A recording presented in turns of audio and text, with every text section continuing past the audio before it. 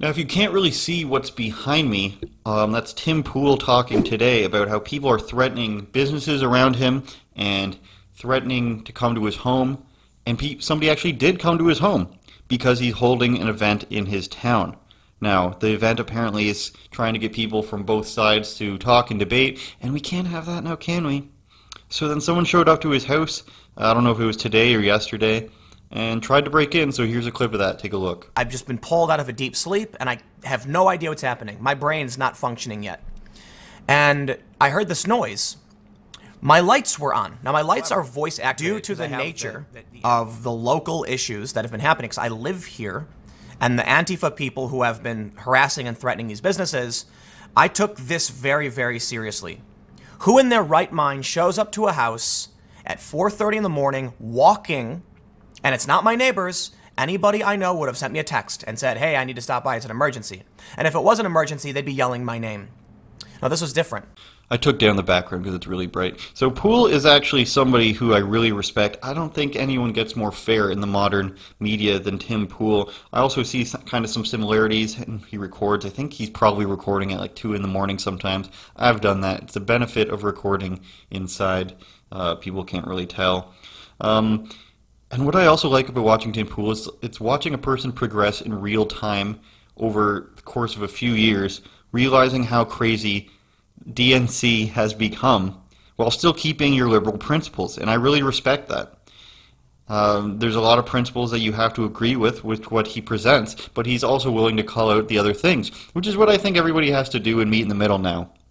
You could be slightly right or slightly left and meet in the middle and call out the crazies on your side or on the other side. It's like if the Blood and the Crips are fighting, isn't it weird how they're also blue and red? I just thought about that. You gotta call out, uh, I don't know, is there lengths at which the Bloods and the Crips say this is too much? Shooting women and children, probably. That's I think that's where it is. They gotta call out those people.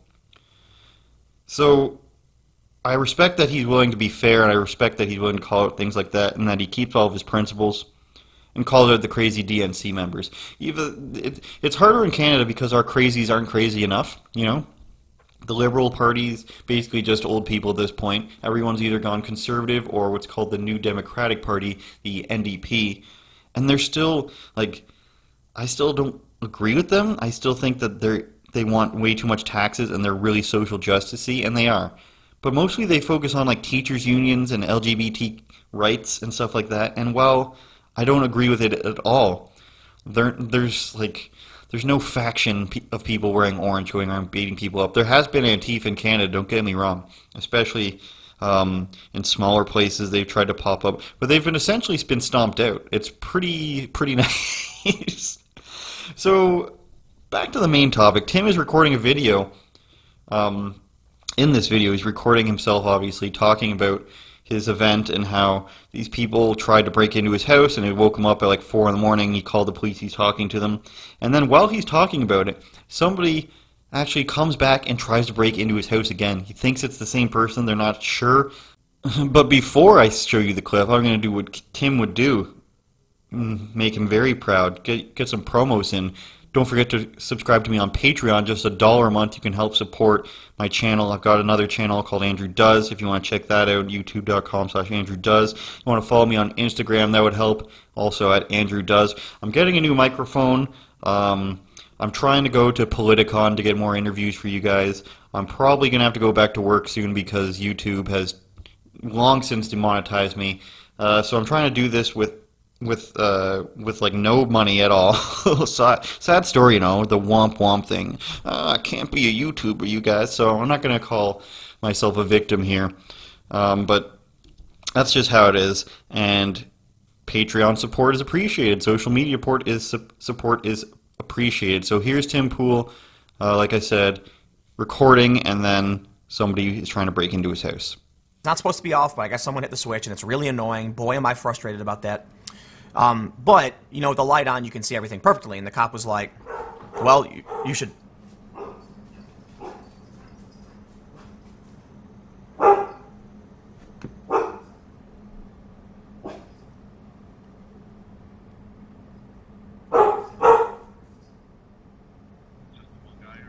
Yeah, it's one guy's might be the same guy. I really don't know, but considering I, I don't know if you're the same guy I talked to this morning or what, but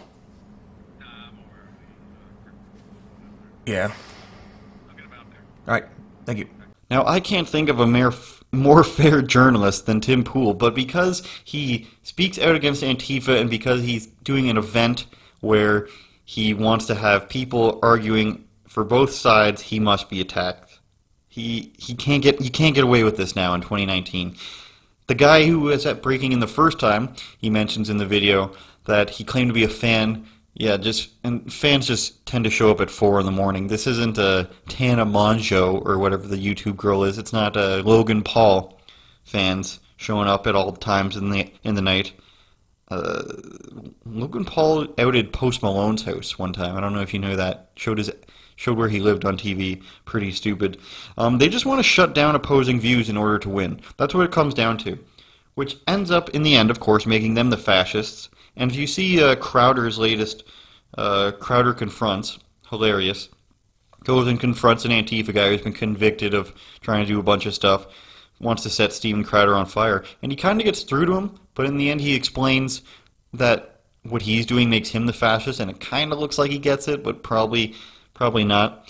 And they just want to shut down these opposing views because it's easier than actually having an argument. And I'm sure you've heard other people say this, but it's more prevalent than ever. I think, especially in American politics, you'll notice that people who are really far left, and I'm not, and it sucks again having to point this stuff out as being a problem.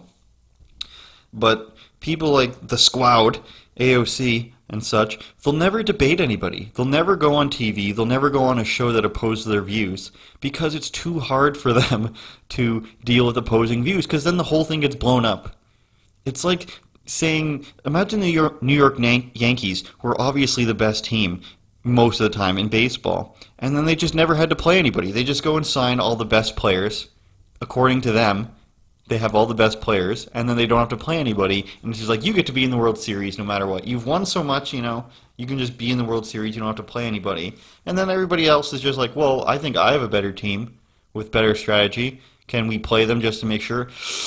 no, I don't want to take that chance. We get we get in the World Series no matter what. So it's much easier to just stop an opinion from being shared or debunked than it is to actually having to come up with the ideas to stop it. Leaders do not want dialogue in this way, and it's sad to say that some of them are just doing it for power. They're just in public positions for power, and they don't want to have these dialogues because it results in their loss of power. Or in some cases, you know, you, you don't want people to find out that you uh, allegedly married your brother, had an affair with people. You know who I'm talking about, right? Mm-hmm.